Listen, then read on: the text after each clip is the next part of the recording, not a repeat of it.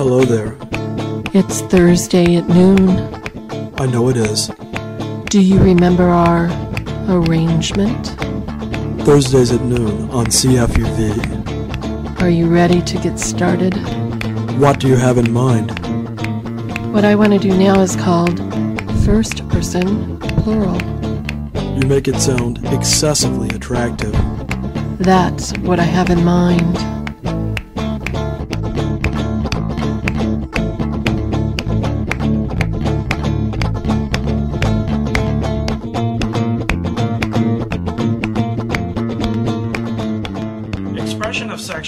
Is one of the most basic ways that people interact with each other. What seems to the naive observer like nothing more than a biological imperative is in practice an activity marked by enormous contextual issues and rituals, and is culturally layered with all sorts of meaning.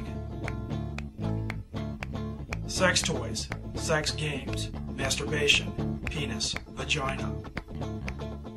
These words are difficult to say in public and evoke a noteworthy amount of emotional reaction on the part of the speaker as well as the listener. In Western cultures, a number of social and political factors are affecting sexual expression, including the changes in women's roles and expectations, the legalization of abortion, the growing political movement recognizing the human rights of homosexuals, the growing political backlash of religious groups against both abortion rights and homosexuality, the spreading of AIDS and other sexually transmitted diseases, and questions about pornography from both the liberal feminists and the religious right. The symbology of sexual relations evokes so much more than two people sharing intimacy that it is any wonder we can have sex at all these days. Even if you are able to ignore the cultural, political, and larger social aspects of the relationship, sex is still contextualized by the relationship itself. Finances, health issues, children, and other of life's stresses often get in the way of relationships. This week we spoke with Laska of Laskamaria Entertainment Limited in Vancouver. She has built a business selling sex toys and games on the World Wide Web and at private appearances similar to Tupperware parties. This may seem like a strange business for a single mom, but Laska's philosophy involving holistic approaches to sex toys and sex games is unusual in an industry that usually gears its advertising and other marketing to make extensive use of the sleazier aspects of sexuality. We talked with her about her philosophy and the cultural barriers to enjoying our bodies and our sexualities in an episode we call Adults Have the Best Toys.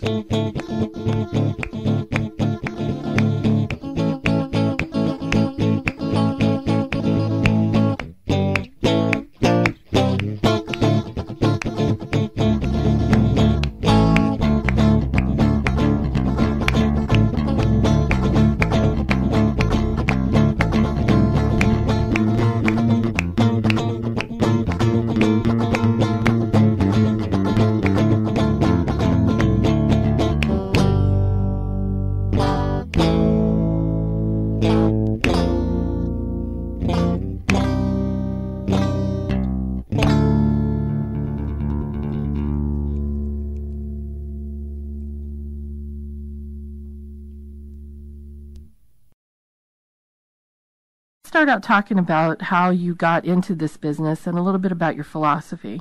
Okay. Um, how I got into the business was that I've, I'm a mother, and I'm actually my husband um, passed away. Wow, it's almost five years.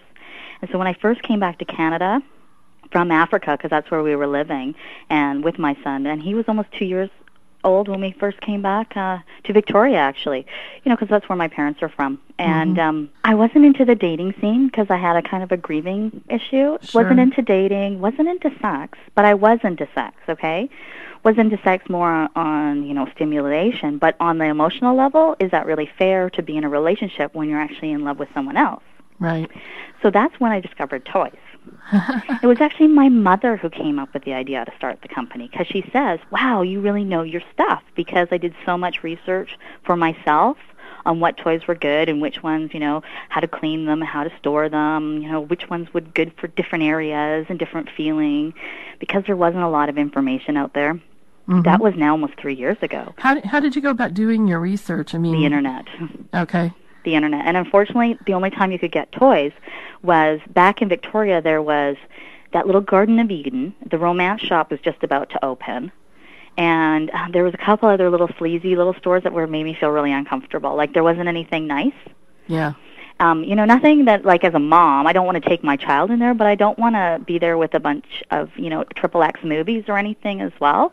You know, I want and I wanted to have an experience where you actually get to touch the products before you, you know, buy them. Mhm. I'll tell you, the best stores are Womyns' Ware does a great job. They're based out of a concept out of San Francisco, which is Good Vibrations. Okay. Good Vibrations, amazing store. Because you get to go in there and touch the items, kind of understand a lot of education about what products are used for and which ones are good. But a little out of the way for Vancouver, huh? Unfortunately, and that's the problem, is because we have a lot of licensing problems here in Vancouver to open up an adult shop. Mm-hmm. So that's why there isn't anything in like family-orientated communities. Mm-hmm.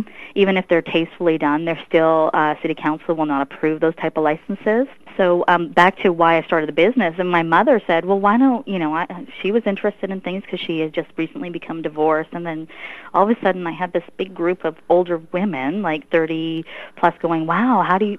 How do you buy stuff? And I actually originally did everything through the internet by finding things and saying, "Oh, just buy it here and buy it here."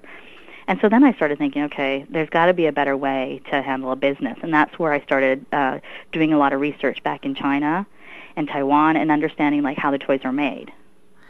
Oh, so uh, most of these toys are made overseas, then? They are, except for the Fun Factory line, which is a silicone-based product, which is actually the best product in, in I think, uh, as of because it's non-porous. Mm-hmm. So I bring stuff in from Germany, but yet the motors, etc., the plastic items, which are a little bit you know more reasonable priced, are actually all brought in. There's only six companies in um, back in the Far East that actually manufacture toys. Now, do you uh, you are not in the manufacturing business though? You're basically a distributor. There's four main distributors in Western Canada. Mm-hmm. And I said, look, guys, you guys don't have presence on the web. You don't have the U.S. market. Why don't I get something organized? You guys pay me a sales commission. So oh. that's Oh. how I do it through the web. So I get them leads, etc., because I spend so much time on the web.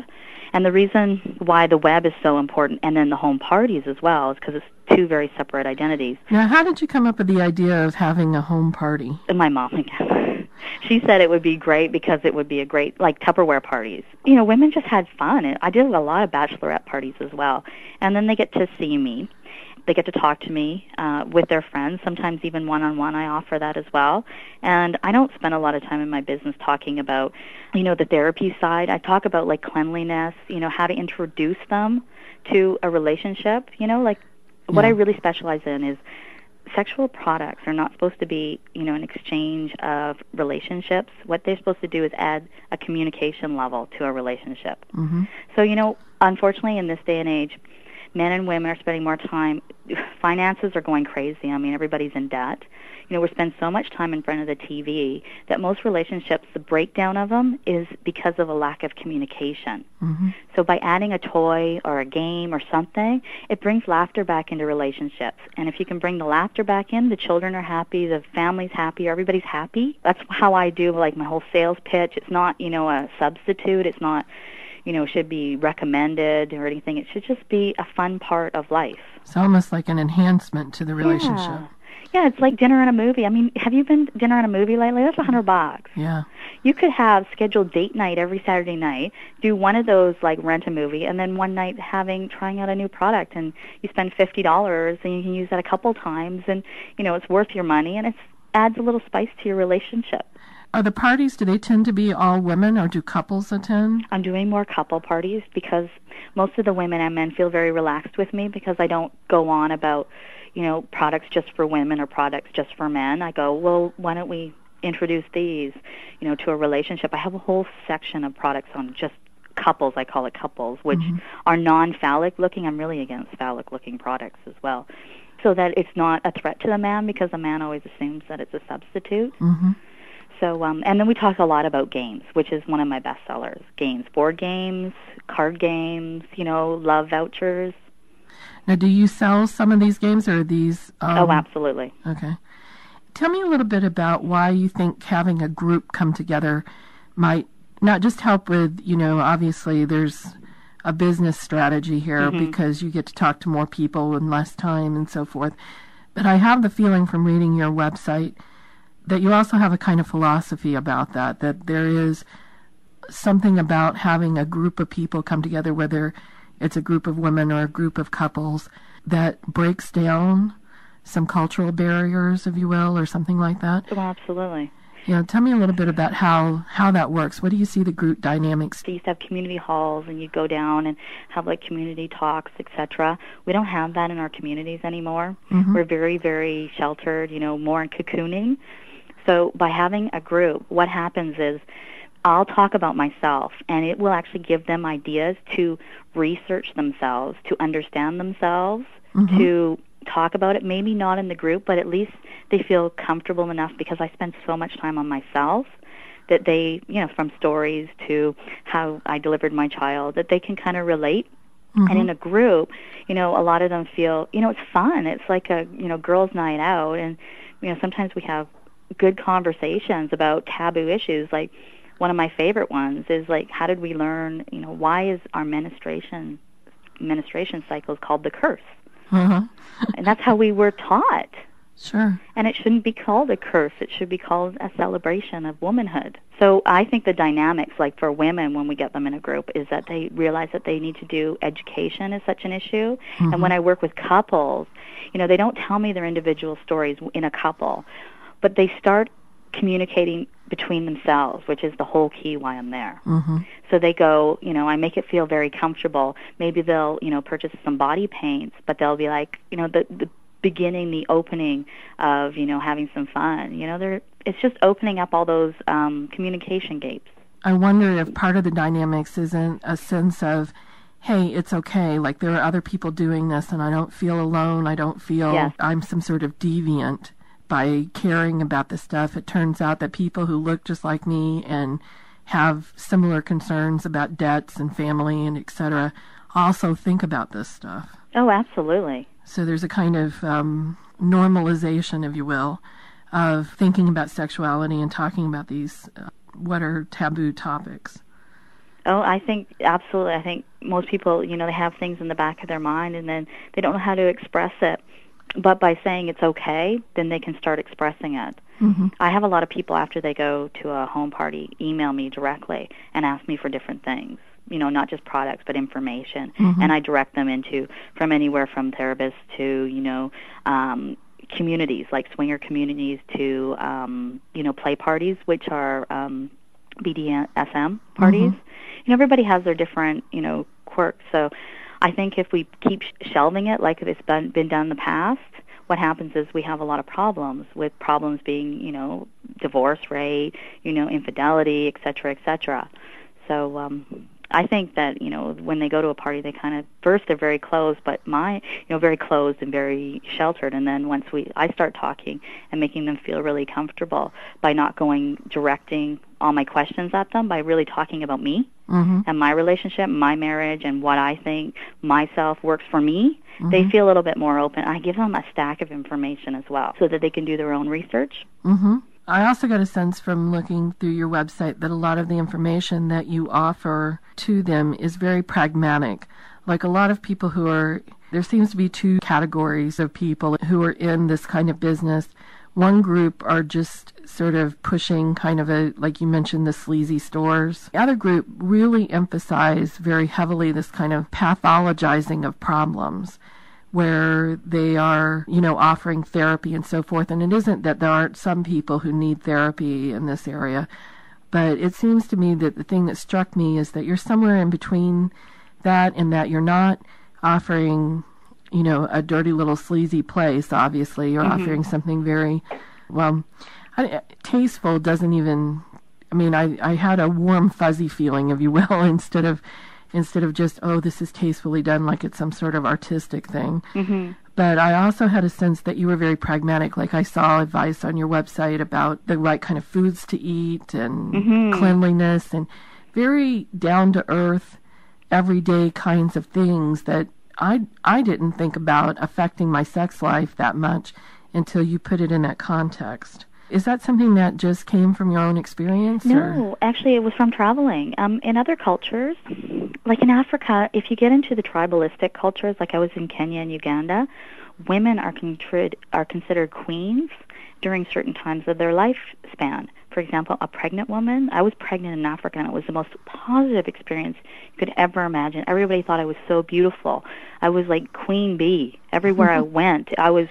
My husband like literally worshipped me because we're we're carrying a child. Mm-hmm. Women who go into menopause in Africa in certain tribes are actually considered like the leaders of the tribe.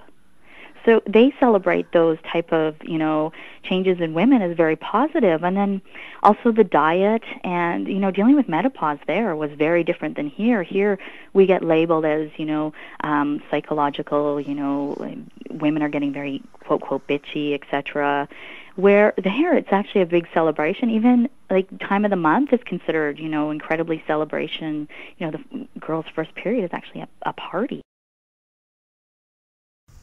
You're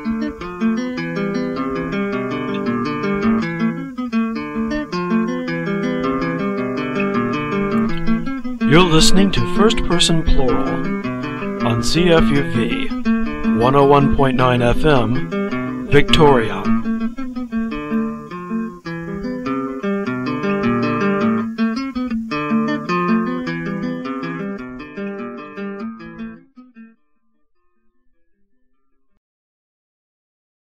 When I was there, I was like, why can't we take this back to Canada? This is the way I should have been taught when I was a little girl. and I, I can't believe that we still shun pregnant women here, like breastfeeding in public. You know, there's certain things like in Africa you can breastfeed whenever you want. It does not matter. And that was a really positive experience for me. So I think that's where really my philosophy came from was from seeing other women in different tribes and going, wow, you know, they're so celebrated here. And is is part of their um, celebration has that practical side to it, such as cleansings and uh, certain kinds of foods and that kind of thing? Mm-hmm. Well, then I started doing a lot of research. Um, I'm still working on all my menopausal information because my mother's going through menopause mm-hmm. and different diet because we're eating so much preservatives here. Um, we have a huge sugar content problem here, and that's probably why we have a lot of diabetes. Mm-hmm. Where in Africa, a lot of the things are very organic, and even in Japan and in the East, because they don't have hot flashes. Oh, really? Yeah, and the reason why is because of their soya content Oh, and the lack of preservatives. We, our our diet here is incredibly high with preservatives, which is actually sugar and yeast based, which causes a lot. I'll tell you right now, Monistat and Canesten, their profits are going up every single year because it's a quick fix to yeast infections. To get rid of yeast infections is to balance a diet. And to balance a diet is based on making sure that your sugar content on certain times of the month should be lower. So for example, we seem to we eat a lot of fast food here and that's heavy in sugar content Mm-hmm. and starches, etc. So by having more of a natural diet, and I'm not saying all health food, it's just the way you cook something. Mm-hmm. Like cooking in just vegetable oil isn't, you know, always the best. You should, you know, start using sesame seed oil to extra virgin olive oil to different types of um powders. You know, like when people are putting powders on, there's all these like, uh, you know, different added flavors. Mm-hmm. Some of those have too much preservatives. You've got to start reading the contents. So it's so important for women to get a diet set up. And there's so many websites, and I really encourage. Like a lot of people write to me, and I say, "Oh, well, check out this website and check out this one." And then exercise is also an important part. Dealing with, you know, not just menopause, but dealing like time of the month can be a lot of problems, yeast infections, etc. So, I mean, it all should really be based on our diet 1st Mm-hmm. not a quick fix because we don't have statistics, by the way, on those things if we use them every two or three, you know, two or three times a year. There's no information on that. Mm-hmm. And those are called quick fix, and their profits are going up and up and up. It's no different than one of my articles that I wrote was about bladder control and the problems I had. Should I tell you what the doctor here prescribed me on? On Prozac. I have a child and I'm going to be on Prozac. On Prozac, Prozac. for bladder control. Bladder control because I was very depressed, you know, because I was really self-conscious about um I had to wear a pad every day. So this is and bladder control issues are actually caused because I had the baby. My pelvic muscle actually got very weak, so Mm-hmm. it couldn't support my bladder.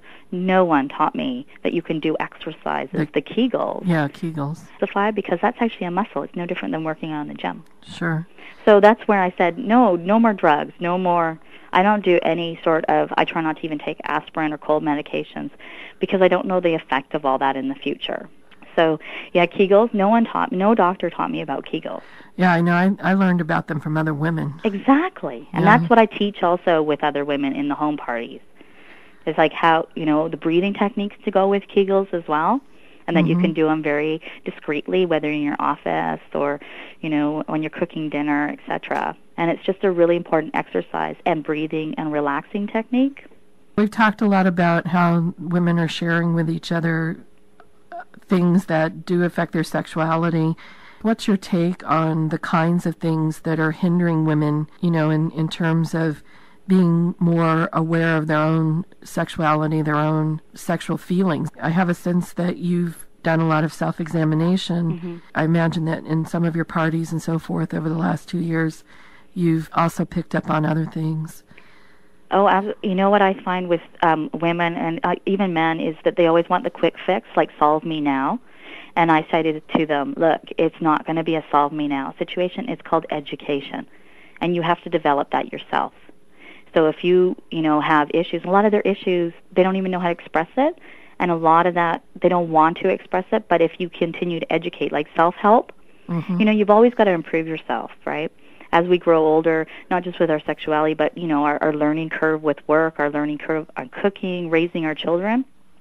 You can't just say, that's it, I've stopped learning. So if you want to understand your sexuality, you've got to get out there and say, look, where do I start? By reading on the internet or books or understanding myself and education. Education is the key. Now, when you say education, are you meaning just simply what other people have to teach you? I, I have a sense that you also mean something around experimenting with your own Exactly. desires. education is learning. So learning means like you know sucking in information. I call it. Um, information is always out there, but we've got to go in and pick it out. You know, you can say most women complain. They complain, I don't get an orgasm from my husband during penetration. I don't get this. I don't have enough finances. I don't have this. Where all our problems could be solved if we just educate ourselves on understanding how things work.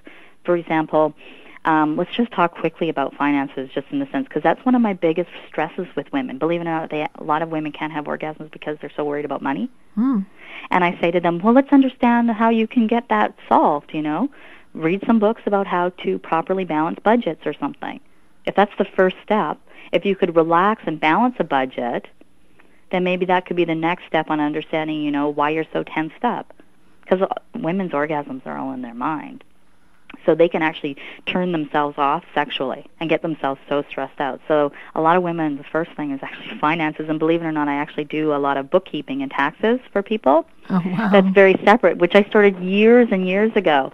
I don't do that now, but at least I give them some information. Like the, you know, there's books called The Wealthy Barber and, and things that people haven't even read. You, you, to understand all that, you have to read. You know, you have to mm-hmm. educate because by educating, you'll relax about your stress, anxieties, worries.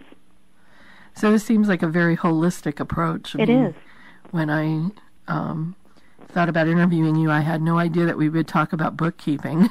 I know. but it but it is. I mean, it is the kind of stress that goes on, um, and add to that the layer of expectations about being a good girl versus you know the whore and all of these kind of cultural. Um, I know. And it is really sad that our culture has said, you know, good girls don't do this. And then, unfortunately, there's, you know, that's kind of why prostitution is still around. Mm-hmm. Prostitution will go away as a society if we make it go away. But obviously, there's still a demand for it, mm-hmm.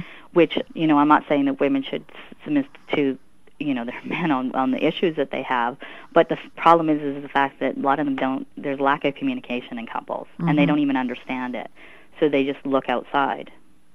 So if we can bring the communication back, you know, and and also take away all those ideals like good girl, bad girl, you know, um and I mean sometimes I even have I have negative opinions on the porn industry alone and people and I deal with them directly, but I think a lot of it is um, you know, putting women in, you know, in how can you say ugly situations. mhm.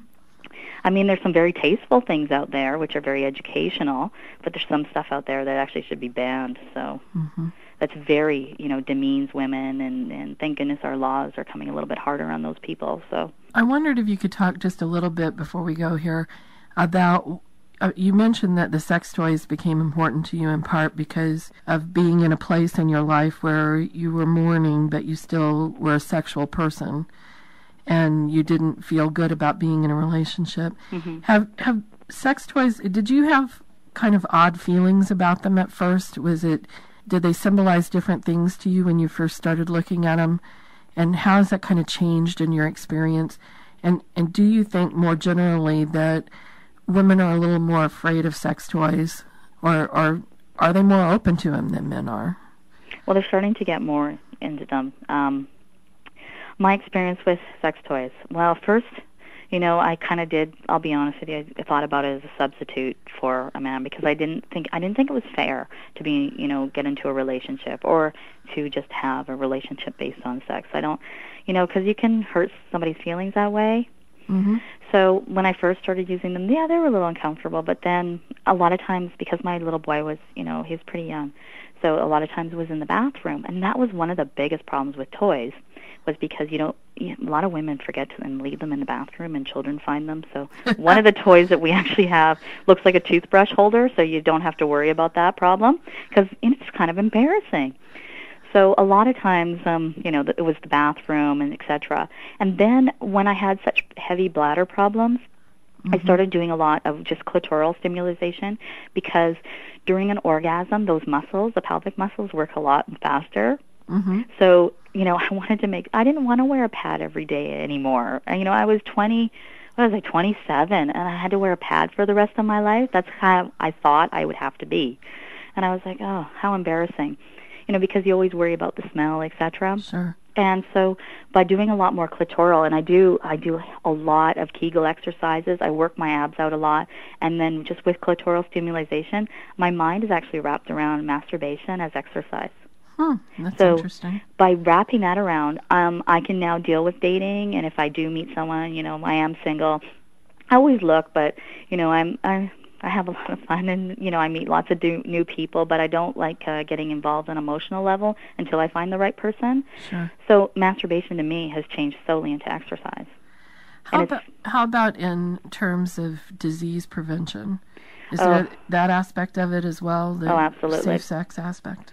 Well, because I'm in the industry and I do sometimes work, um, I don't do talent like um, I don't perform or anything like that. But sometimes I will be on set to do a scene like changing toys, cleaning them, etc. Mm-hmm. And I do get tested on a regular basis because I'm part of the industry. And I'm not saying I would ever perform, but they have really strict standards Mm-hmm. in the industry uh, for filming and to be on set, etc. And we also work with uh, you know some people down in the United States that I just automatically get tested. And uh, I found a lot of other people don't know themselves that well and they don't get tested. It's not an open routine examination in Canada.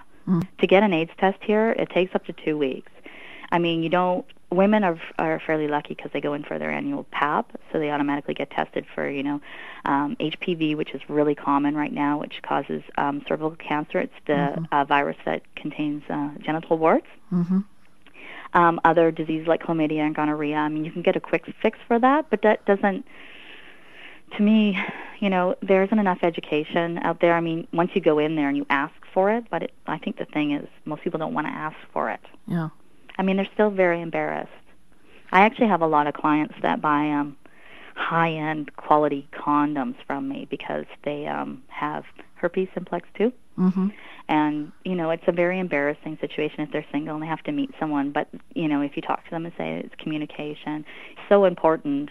I mean, I noticed that in Africa too. I mean, you should see the amount of AIDS and other diseases there is appalling. So I think mm. myself being single, a lot of that comes up into issues. I mean, I don't even go there without the whole condom issue, etc. Sure. I mean, not even just that. I mean, there's a new. pro- I don't. I'm sure you've heard of the dental dams as well for oral sex. Those are so mm-hmm. important as well. You just got to be safe. I I just look at it like you know I have a son and I'm the only parent, and I want to stay here for a really long time in this earth and be really healthy. So I'll do everything out of my power to stay that way. That sounds good. Anything mm-hmm. else that you'd like to add? No, um, just as long as we mention where I'm going to be talking. What I'm going to Oh, be yeah. what I'm going to be talking about is how to introduce products in couples because it's going to be in a bar situation. Mm-hmm. We're going to do some really good humor on it and make sure that we, you know, talk about communication and, and show them some fun sites and stuff. I'm also going to tell them a couple of really good um, stories um, regarding porn stars because I get to meet all of them and, and talk to them a lot down in the States. So it's mm-hmm. going to be humorous later in the evening, but the first part we're really going to talk about why you would want to even think about bringing sex toys into a relationship. Like it's really going to be a beginner couple, you know, fun, very very, you know, non-threatening. That sounds good. And that's going to be at the upper deck Yeah. on Gorge Road. And what time? Well, I'm going to be there at seven. I'm going to start talking around eight. I'll Okay. probably, and then the real humor stuff will come around eleven o'clock. So when everybody's fairly relaxed. So plan a nice evening. hmm Show up if you want to experience all of it. Show up between seven and eight. I'm going to have some draws there. So you can win some, you know, really, really tame prizes. You know, we'll have some magic rings and some games and things. There will be products on sale, so you can also buy. Or, um, you know, if you don't feel comfortable at that time, you can always, you know, call me and I can, you know, ship over from from Vancouver. So, you know, it's just really going to be a lot of education about different products and, you know, different, you know, it'd be fun, like products for relationships. Well, that sounds good. Mhm. Well, I very much appreciate you talking to us. Well, thank you so much. all right. And enjoy your time in Victoria. You're listening to First Person Plural on CFUV, Victoria's Public Radio, 101.9 FM, 104.3 cable, and on the internet, cfuv.uvic.ca. Giving sociology an edge!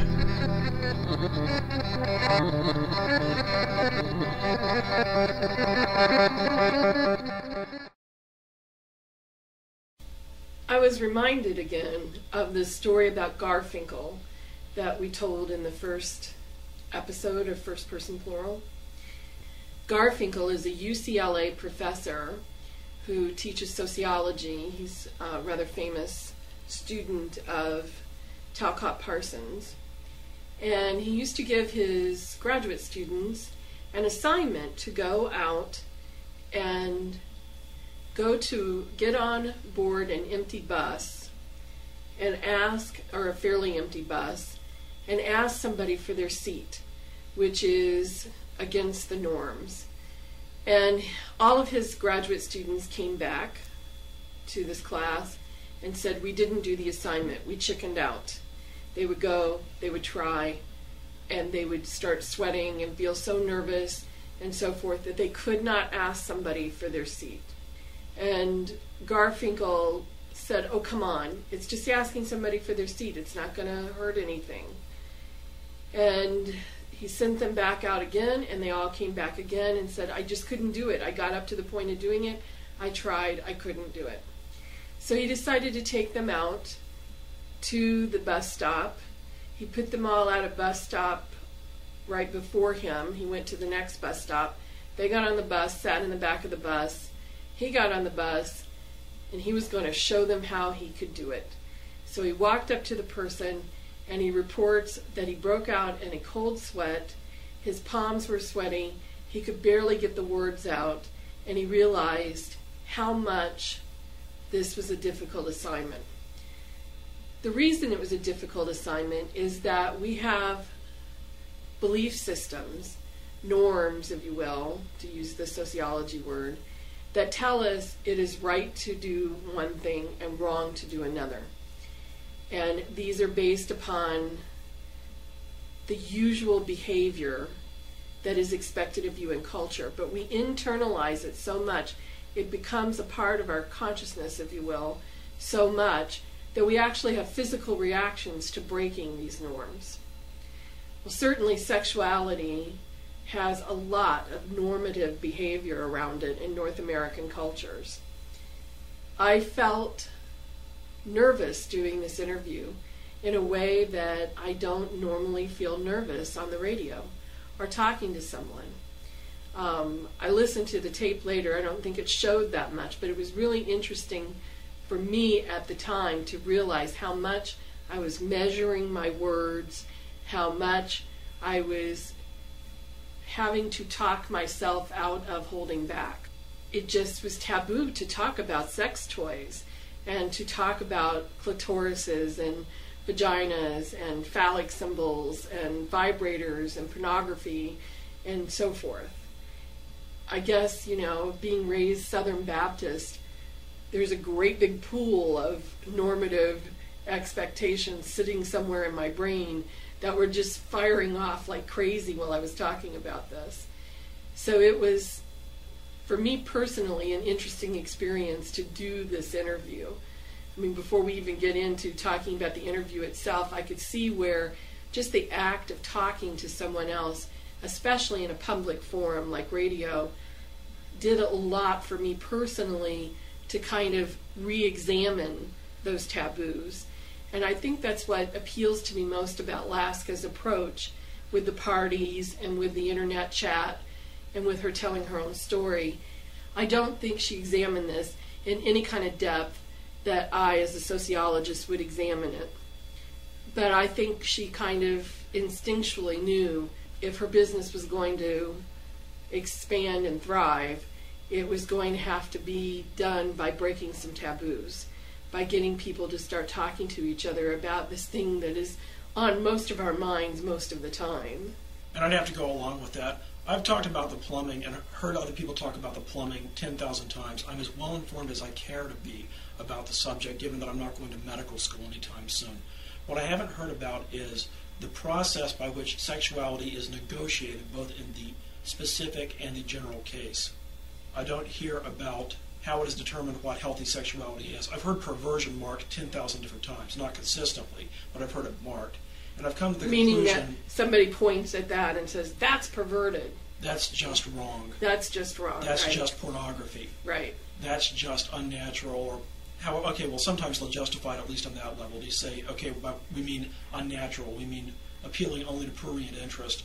But basically what the anti pornography crowd doesn't get, and what a lot, well, let's extend it. What the bourgeois crowd doesn't get is that making something as broad as sexuality into something that one just naturally knows about is pathetic. it's to disavow the possibility. it's to disavow the possibility that discourse could have anything to do with how it's constructed or negotiated. The last word being the key one. I like the word negotiated. That's an interesting because I don't think you're just talking about between partners. I think you're talking also about the negotiation that goes on sort of internally and trying to understand our own sexuality. Well, externally as well. What are sexual ethics? What should they be? The general discussions inform the specific ones, invariably. Mm-hmm. If we're going to be enculturated, we might as well be conscious of the enculturation and, in fact, shape it knowingly instead of running away like frightened rabbits whenever we hear the word vagina. This is something that ties into censorship and freedom of speech, and it's a very sensitive issue to me. Who are you supposed to go to, as an example, in this society for a halfway informed discussion of sexuality? Physicians stick to the plumbing. Psychologists and other quasi religious figureheads are worthless. Parents are beneath contempt. No, tell me why they're worthless. Don't just say worthless. Let's talk about that a little bit. I mean, I don't think that they're because worthless they're to everyone. of the social control army, and that's their first. Exactly. That's the problem that I have with it too. They don't on. give a damn about improving your understanding or inviting you to take place in a discussion or even discussing how such a discussion could take place. They are into telling you what the norms are and making it clear to you that you had damn well better stick to them. Yeah, my favorite word among psychologists that drives me crazy, and this might be psychiatrists as well, is promiscuous. That's a word that's used in diagnosis, you know, in the diagnostic manual. And I'm I'm always left wondering exactly who is promiscuous. And interestingly enough, it's usually women and gay men. Promiscuity among men, men having multiple partners, is considered a good thing, And my a guess that, natural thing.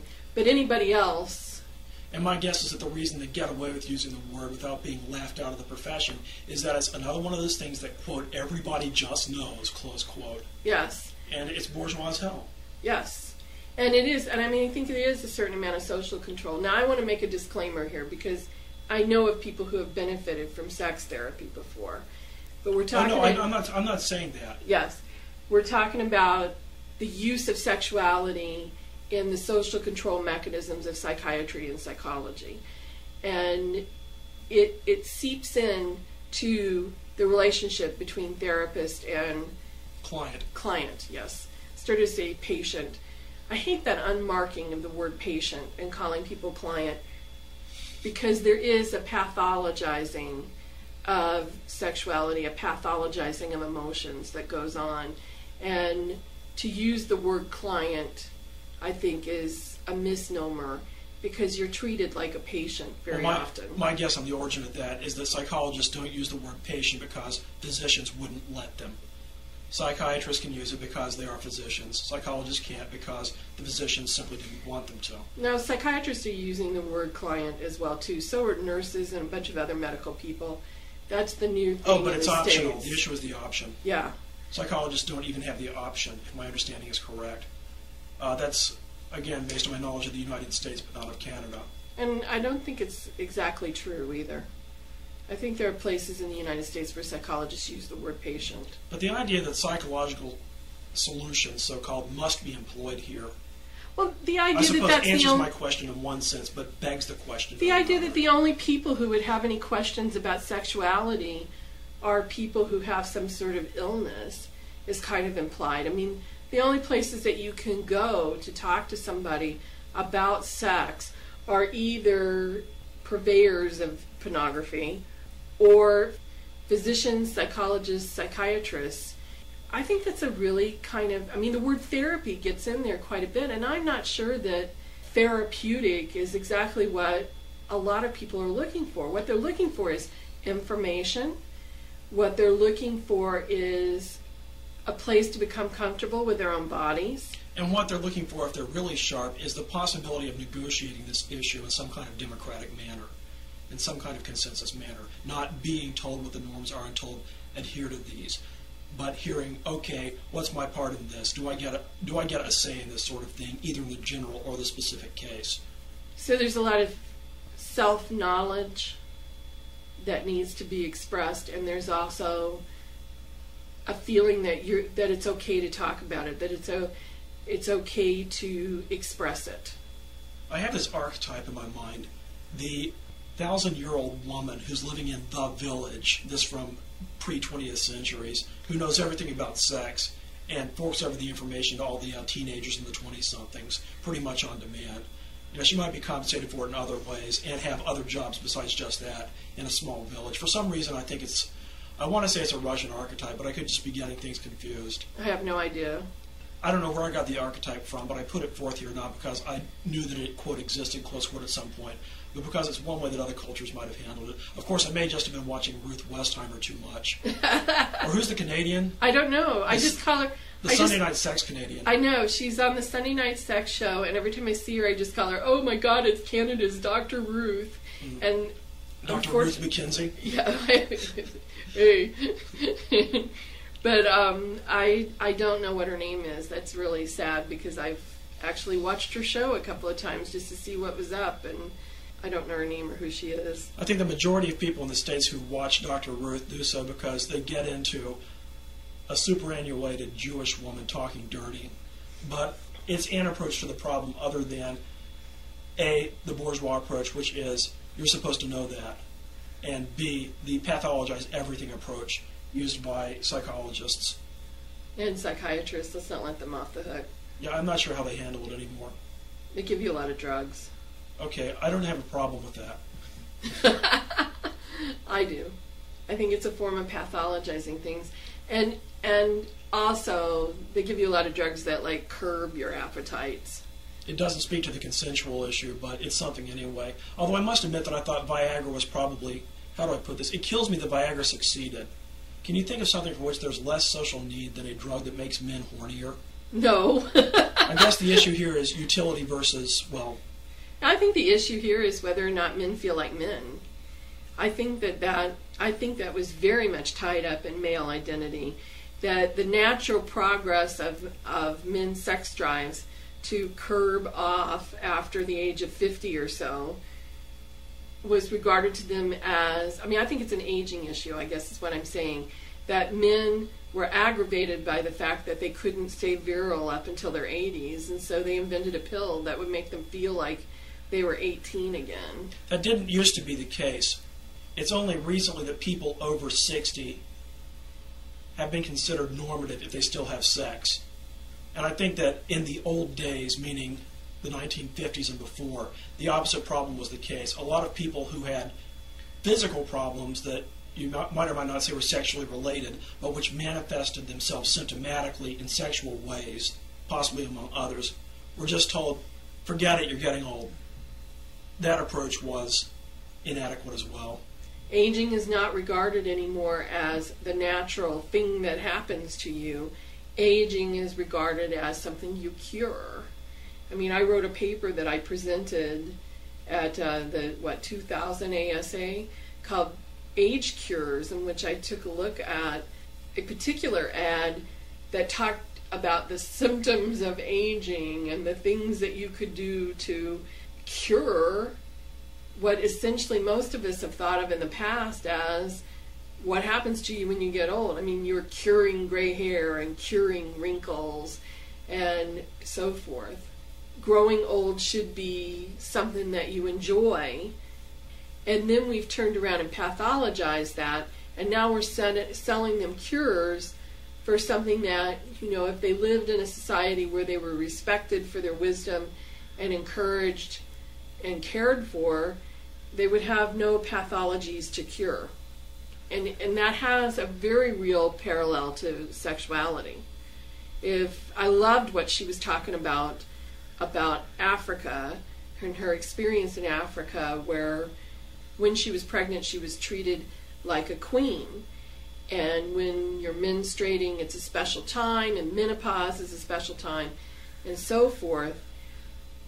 Those kind of supports of sexuality don't exist in our culture.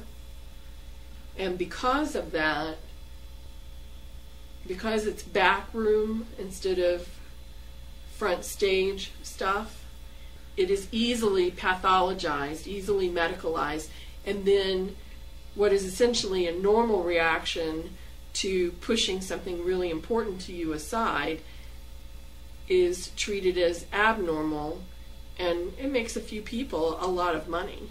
I'd like to disagree with you on one point. I think pregnant women are treated indeed like queens in the United States anyway. It's made clear to them that as long as they are expecting that they're going to receive all sorts of considerations. Uh, the thing about queens, as with other, other monarchs, is that they are often beheaded, and that once the expectant mother gives birth, her stock drops considerably in the eyes of those who provide social resources. Yeah, you I hear from the uh, the pro-choice crowd that their opponents often seem to believe that the right to life begins at conception and ends at birth. And I would say mothers are treated like queens in the United States only if they do what is expected of a mother. Single pregnant women trying to work don't get treated like queens. They get asked a lot of personal questions. They often face getting fired. I've had several friends who were pregnant outside of marriage who lost their jobs during their pregnancy.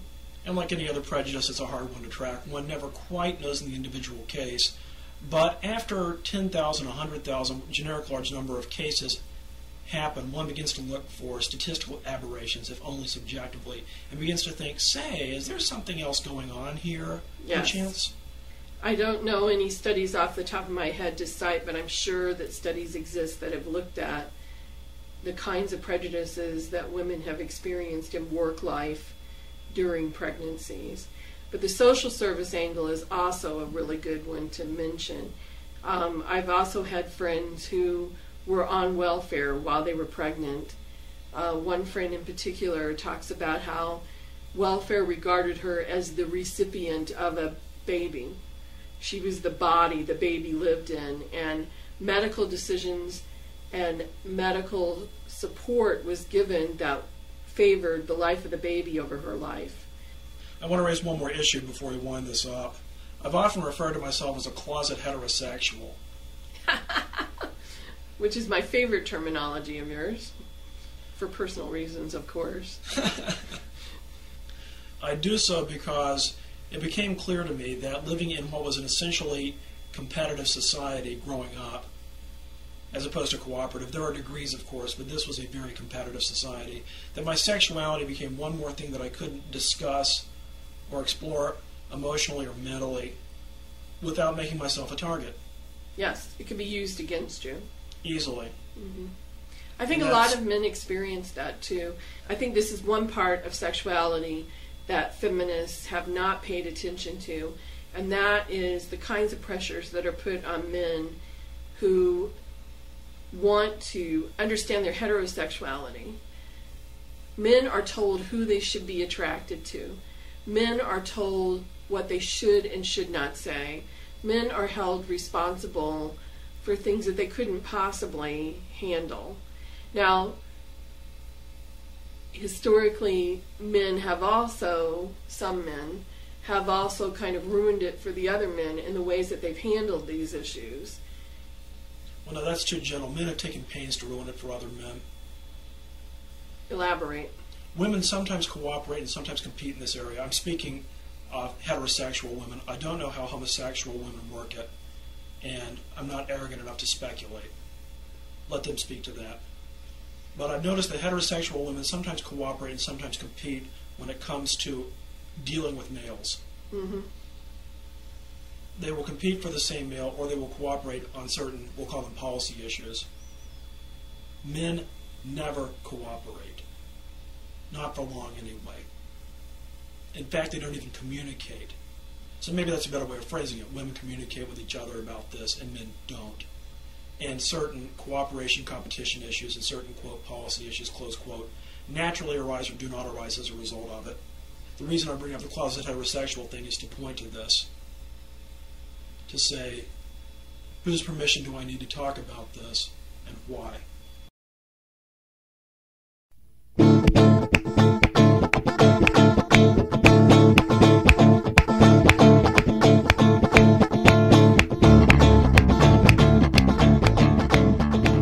Listening to First Person Plural because how people get along with each other still matters.